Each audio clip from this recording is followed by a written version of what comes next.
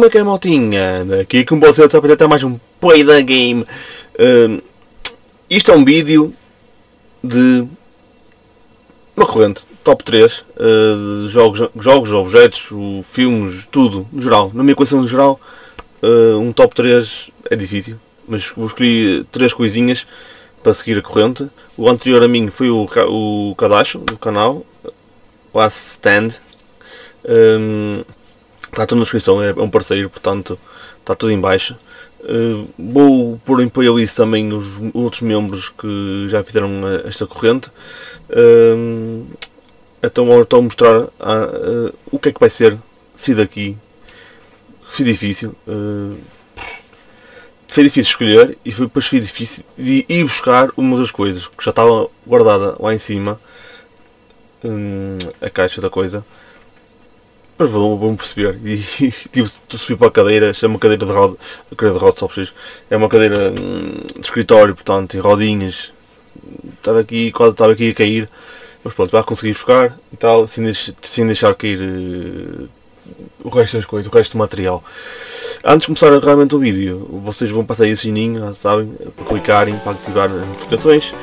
Estamos mil e picos membros, portanto, muito obrigado, continuar assim, tentar subir mais um bocadinho e muito obrigado por isso. Vamos botar por qual? Gosto dos três de igual forma, portanto é difícil. Vamos buscar começar já por aqui, que é o mais pequenino, que é, é um bocado batido porque são dois. Vale como fosse um, mas são dois, porque não consegui distinguir entre os dois. Gosto bastante dos dois. Os jogos estou fora é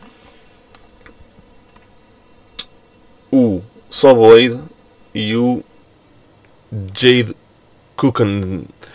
Bom, já por aqui do lado, o jeito que o primeiro está mint. Este também está, tem uma, uma rachadela só aqui na, na caixinha. Pronto, é o que se estraga. Porque está impecável. Mas isso é que conversa para outros dias. Então é, Soulblade. Porquê que é Soulblade?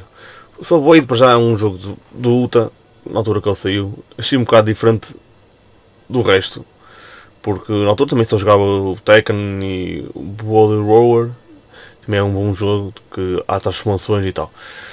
Uh, e depois quando soube que tinha um jogo de, de, de luta em que podias usar espadas, e pá, vamos experimentar isto. Então comecei a jogar, pronto, fiquei fã e até hoje uh, continuo a gostar bastante deste jogo. Uh, se não estava aqui.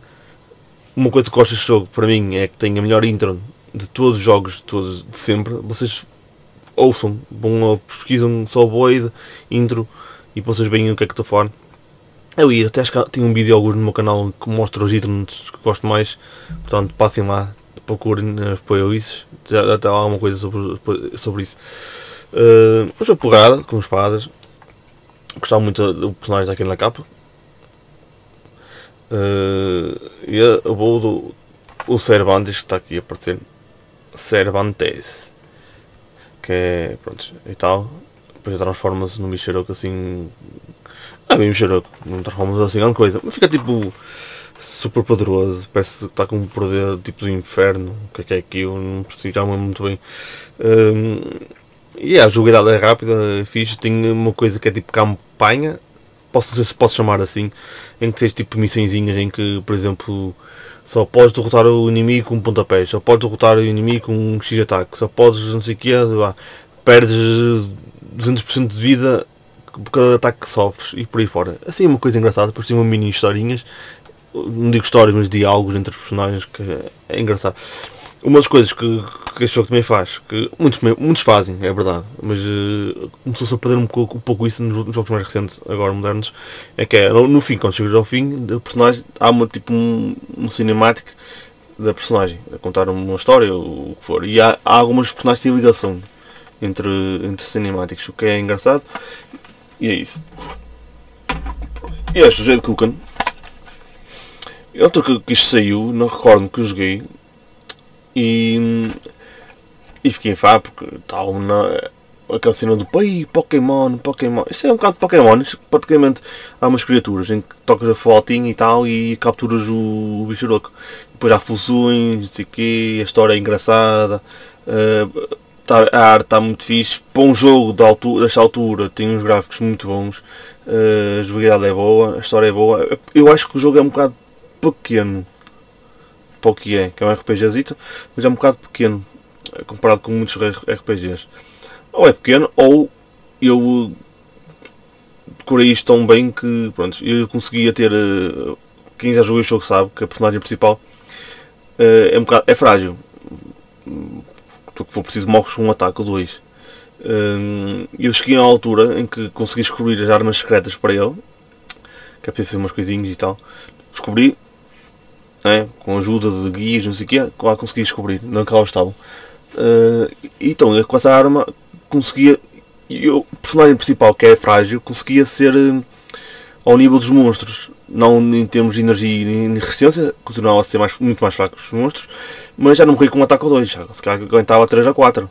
E eu, eu conseguia tirar bastante vida aos inimigos só com, com a espada. Muitas vezes conseguia matá-los só com, com, o personagem. Que era um feito mesmo neste jogo. Quem jogou sabe o que estou a dizer. Que é quase impossível jogar o personagem e matar os inimigos com uma personagem e não com os monstros. O objetivo do jogo é, é matar com os outros monstros, não com o personagem. Uh, uma dica para quem joga este jogo, uh, vocês no início do jogo recebem aquele dragãozinho azul. Não façam infusões com esse dragão. Uh, mantenham o dragão mais natural possível, até ao fim do jogo, sem fusões nenhumas, porque vale a pena. Esse dragão, a partir de certo nível, fica super forte, muito grande e, e, e às vezes uma fusãozinha mal feita pode estragar aquele personagem. E eu, o que faço sempre é, sempre já passei este jogo do início ao fim várias vezes, perdi a conta. Uh, com o dragão, não faço fusões. Depois, o que é que eu faço? Não, não necessariamente este bicho com, parece um cão com corno, uh, mas deste, este, mas a versão verde, que é o que jogo início do jogo, a verde e amarela. E o que é que eu faço? É juntar vários verdes, vários amarelos e ao longo do jogo vou fundindo sem perder eh, nada da personagem. E tenho sempre um personagem com acho que é terra e vento, se não me engano. Este pormenor já não me lembro. Mas fazia sempre fusão nesses dois por ter um ataque de, cada tipo e não ficar fraco os ataques. Porque fusão mal feita pode perder ataque, pode perder muita coisa. E eu ficava com muita vida, com muita resistência suficiente para só com este monstro conseguir matar qualquer boss do jogo. Só com esse monstro. É verdade, experimentem. Uh, dá muito trabalho porque é várias fusões atrás fusões. Tem que ter um bocado de farming. Uh, pelo menos duas horitas ou mais mínimo de farming destes dois monstros e fazer várias fusões iguais. Para fortalecer um bocadinho. Uh, o terceiro monstro variava. O terceiro monstro usava a ajudar um monstro de água, a ajudar um monstro. Hum, o que sobrava nas estatísticas, depois, ao, consoante o boss trocava, uh, mas não havia assim um monstro específico, o terceiro monstro que era aleatório, praticamente. Uh, é um jogo fixe. O que me, falta, o que me peca agora é que sempre se fala mal do segundo jogo deste, que é na PlayStation 2. Eu joguei um motor no demo e até gostei. Portanto, e falta-me agora o jogo. Mas agora o jogo não é que esteja caro, mas falta-me essa lacuna. Uh, vou ter de comprar o jogo para o jogar na minha console PlayStation 2. Um, tem de ser é meu jogo preferido este de, de, a par do Soul Blade, mas mais este um bocadinho, talvez por ser o jogo que é, que é um RPGzinho e é um jogo bastante divertido. Vocês vão jogar. Melhor uma vez. A história acho que é pequenina. Dois jogos já, estão feitos. Uh, já estou quase 10 minutos de a falar nestes dois jogos. Mas pronto. Uh, o próximo. Era estranho se este não tivesse cá, né? Que é o que dá o nome do canal, TSAPT. Porquê? Porque é por causa do jogo do Tsar. O Tsar, o peso da coroa. Isto é a versão portuguesa, claro. Uh, a Big Box está salvada. Eu tenho várias versões deste jogo. Falta-me só uma versão espanhola, se me engano. Apesar de eu ter a versão espanhola numa coetânea, também tenho coetâneas em que traz o jogo de Tsar, que é uma coetânea de pack de 10 jogos, não me recordo o nome, dá aqui em baixo, em que traz a versão espanhola, que é a versão que me falta. Uh, Faltam duas. Não, faltam duas. Falta a versão espanhola, falta outra também é espanhola, que é tipo uma expansão. Não percebi muito bem. Mas tudo o resto, tenho esta versão, tenho a versão que saiu na revista. Foi a revista? Será que foi a Japan Games? Já não me recordo. Que, é, que traz só um. Espera essa versão. Tem, tem. Tem a versão de Showcase, Big Box. A Big Box e tinha a versão da, da Mega Score, se não me engano, estou-me a recordar que é só o CDzinho e tal, que é engraçado. Hum, achou o que é que é? O Desire. O Desire é um jogo, vocês estão a ver na altura, havia muitos Age of Empires e por aí fora. É desse género. estão a ver aqui. Está uh, com tradução em português em legendas, pelo menos, como recordo. Já, já não pego neste jogo há muito tempo. E hum, é uma estratégia em que há muitos monstros. Uh, podes capturar, por exemplo, dwarfs, que são os dragões, ogros e por aí fora, e para te ajudar na tua aventura. Podes. A, a campanha é muito boa, normalmente a campanha peca um bocadinho, mas este jogo é muito boa. E além disso, é um jogo que é muito bom, na minha opinião. Vocês têm de jogar isto, que a banda, por exemplo, a banda sonora deste jogo, vocês ouvirem, são a volta de 12 tra tracks, são tracks, são 12, 12 músicas diferentes, vá. Uh, acho eu. É um número assim parecido, 12, 14, por aí. São todas muito boas. Todas, ficam no ouvido. Uh, só dá, há cheats, claro. Eu tinha até aqui uma revista, aquela revista que assistia truques e dicas de, que saíram várias no, no, no, ano 2000 e por aí fora. Em que trazia truques e dicas e um dos truques e dicas tinha para show, que é para o normal, como tinha antes de Empire, mais dinheiro e por aí fora.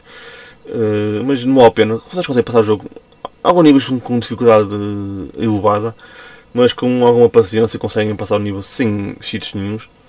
Portanto, yeah, é um jogo muito bom ficou na minha memória e tem aqui na coleção e vai ficar para sempre. Deus queira. Um jogo destes. Tem vocês irem jogar. Eu tenho pena que muitos gente não conheçam este jogo. Mas têm de jogar. Nem que saquem na net. Fazem o que quiserem.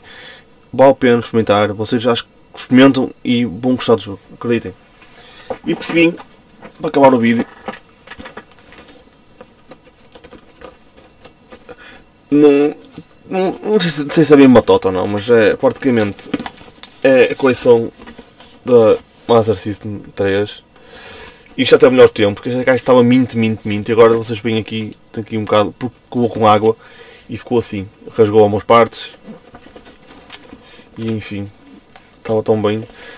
Podem ver aqui, tipo, meio inchado. Vocês conseguem ver assim mais ou menos aqui uma calvinha. Isto a caixa estava nova e ficou assim por causa da água. Tenho pena por causa disso. Ai, ai. Mas pronto. Porquê é que é mais de Andrés? Pois já tive esta consola. Foi a primeira consola em que. Como é que é explicar? Eu acho que tinha a volta dos. Não sei se tinha entre 4 a 6 anos, talvez.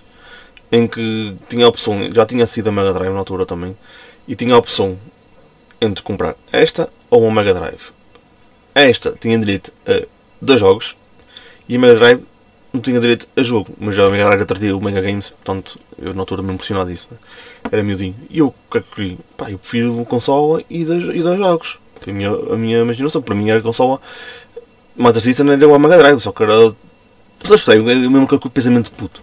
Então trouxe esta Master System com o Sonic 2 e o Super Monaco GP 2, o Ayrton Senna. E pronto, entretanto, não sei se foi por causa de ser fim de vida da consola, talvez, em que só encontrava os Purples e poucos já jogos já Master à venda no Tesourãs, à venda e por aí fora, e fui comprando os Purples. Hoje em dia tenho coisa completa, porque também por causa disso, que fui comprando só Purples sem saber que era só que era uma coisa engraçada portuguesa. Então, além da consola, praticamente joguei tudo que está aqui. Uh, e gosto bastante dos jogos que estão aqui agora. Menos o Taz, que não saiu, né? Talvez, é. Mas, por exemplo, olha, vou falar por ordem, eu estou a mostrar assim a imagem. Cheatskate, uh, um jogo que cheguei a terminar na altura, uh, terminei depois, já em grande. É um jogo até difícil, plataformas, engraçado, aventura. Uh, o Diana Jones um, é engraçado, mas não é dos meus preferidos, por contrário, foi dos poucos que joguei menos. O Jungle Book joguei bastante, uh, joguei mesmo muito jogo, é um jogo muito fixe de plataforma. Uh, o Jurassic Park, esquece, terminei o jogo não sei quantas vezes, acho que foi o jogo que mais terminei de todos aqui. Uh, Spider-Man, cheguei para ir até o penúltimo boss, se não me engano. Uh, é um jogo até engraçadinho. Recordo-me muito do primeiro nível, porque foi o nível que mais joguei. Uh, claro, aquela, som, aquela música que eu, é fixe. O Sonic Spin, não gosto. Tem um grafismo muito mal, a jogabilidade está mal. Não, Bah, não, não gosto. Speed Trap, outro jogo que uh, cheguei até o penúltimo nível, ou penúltimo ou último nível, já não me recordo. E pronto, depois eu assisti e nunca mais joguei. Até hoje em dia. Um, Mas epá, é um jogo bastante bom. Andas lá com o pica-pau e a bater para comer comida, para ter alguma vida e tal. É engraçado. O Gamebox é um jogo genérico, né? tem todos os joguitos normais. Lion King, para mim, um dos melhores jogos em termos de, de gráficos da, da Master System. Tem uns grafismos muito bons, a qualidade de cor é muito boa, a música também né? tem a banda sonora, já sabem. Uh, que não, pá, foi a minha opinião, mas para mim é um dos melhores jogos da Master System. Uh, Road Rash, não joguei esta versão da Purple, joguei na casa de um amigo e hum, gostei, gostei bastante na altura que eu jogava. jogava esse jogo e jogava o Shinobi. Não? Eu tinha, eu tinha o Shinobi e passávamos horas depois da escola a jogar isso. Sabe Shuei? Sabe é um shurump, bem chamar, ou, aquelas coisinhas de naves, partindo navezinhas e tu estás com uma nave que é o Sabe a matar os inimigos com tirozinhos e tal. Uh, não é um jogo fácil, fácil. Um, é uma cópia. O Top Show é uma cópia de um jogo já existente a Master System. Uh, por isso pesquisem. É, sei qual é o jogo, mas pesquisem qual é a cópia. É, é o que é. Mas está uh, engraçado. Mudaram um nome. Deram um nome, um nome assim um bocado estranho, não é? E isto já tem. Eu sempre olho para aqui vejo, lembro-me da água. Faz uma impressão. É como que estraga umas coisas assim um bocado. Enfim, fosse fogo era pior. Mas a água também, apesar de visivelmente parecer estar mais ou menos, mas isto, porque o que estava, o que está agora. Mas pronto, off topic isso. Está a dizer, o Sops é aquele jogo porreirinho. Os bosses são muito fixe, a música é muito fixe. E quando vinha o boss, a música mudava drasticamente. E já sabia, já sabia que vinha um boss. Depois de decorar os padrões, é fácil matar os bosses. Uh, mas enquanto isso, se calhar basta para chegar morrias no boss, voltavas no início do jogo, passar os bosses todos outra vez até chegar àquele boss e, e fazer mais uma tentativa. Não há save states, né? como agora. Mair, Mair é aqueles jogos infinitos em que é, é up, tens dar um murro, dar um pontapé saltas e pouco mais. Vão por cima de inimigos, vão por cima de obstáculos, atiram-te com garrafa, atiram-te com bidões e tu tens de fugir disso tudo. Uh, no fim derrotas num bosszinho, falas, falas com uma mulherzinha, já parte não me recordo. Depois voltas ao início com, mais, com um bocadinho mais de dificuldade, chega ao fim, volta ao início outra vez. O mapa sempre o mesmo praticamente, vai mudando a dificuldade um bocadinho, pouco a pouco. E é um jogo infinito, não é fim. Asterix, confesso que este joguei bastante pouco, só experimentei o jogo ainda. Uh, tive oportunidade de ir a jogar o jogo todo. Uh, vou jogar uh, algum dia, uh, mas é um jogo está aqui na franquia do Purple por algum motivo tem muitos fanbases e é um jogo que está engraçado. O Simpson é um jogo bastante difícil, em que quando eu recebi o jogo, foi o último jogo que eu recebi da Purple, depois entretanto deixou de vender, pelo menos na parte dos novos, em que esse jogo, o Simpsons, é daqueles jogos, para quem é puto, é um bocado difícil, porque tens a cena das cores, tens... É... Eu posso considerar o Simpsons um RPG, talvez, uh, digam-me vocês, porque é daqueles jogos em que tens muitos momentos de RPG, mas não sei se é RPG puro. Não sei, tipo, como é que. Será que digam. Tem momentos de RPG e é um jogo de aventura? Se calhar é uma certa é dizer isso. Mas acho que não há categoria certa para este tipo de jogo. Um, é um mix, pá. Mas é difícil. É daqueles jogos. Tens de fechar um bocado a cabeça. Tem, tem texto, tens coisas para comprar na loja, tens coisas para vender, tens coisas para buscar não sei o quê, vais para trás outra vez para buscar não sei o que mais Epá, tens de pintar tudo, paredes, tetos, tudo o que vocês imaginarem para passar o nível. Não é fácil, fácil, fácil. É... O Trasvote, acho que é um jogo fraquinho. Na minha opinião, é um jogo fraquinho. Portanto, não tenho muito a dizer dele. Muito normal. Há melhores do género, por isso. E é isso, pessoal. Está aqui o videozinho então, da consolazinho que gosto mais. Dos do Tesar que marcou-me e os dois jogos da Playstation 1 que também marcaram e gosto bastante deles. 20 minutinhos, 20 minutinhos, espero bem que estejam ainda aí. Se tiverem, agradeço. Uh, então mais vou passar para a corrente para outro, para, outro, para outra pessoa. Os links vou deixar tudo na descrição, mas apoio isso pessoal também. Uh, passem nos canais dos parceiros. E já como estou falando dos parceiros, a próxima pessoa a fazer o vídeo vai ser o, Geek Hobbies, o Fábio Jorge. Uh, tá aí, mostra aí o teu top 3. Vou já adivinhar um dos top 3. Posso adivinhar? Vai ser alguma coisa do Mario. Isso tem a certeza absoluta. O resto, vais, vamos fazer que nos surpreendas. Uh, acho que sim. Portanto, até uma próxima pessoal. Fiquem aí e peace.